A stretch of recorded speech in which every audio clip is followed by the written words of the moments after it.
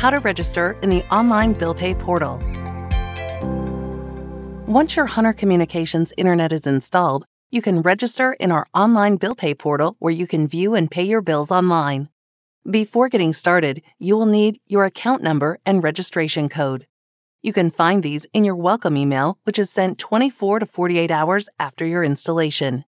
If you cannot locate these, please call our customer experience team. Once you have your account number and registration code, go to hunterfiber.com and click the black Bill Pay Portal button at the top right corner. This takes you to hunter.billcenter.net, where you will see a white box with username and password fields. At the bottom of the box, click Sign up for an account. Under Register, enter your account number, registration code, email address, and choose a username, then click Register. You will then receive an email with a link to set your password. Your password will require an uppercase letter, lowercase letter, a number, and a special character. Examples include exclamation point, at symbol, hashtag symbol, dollar sign, percentage, caret, ampersand, or asterisk. After setting your password, you'll be able to log into your account.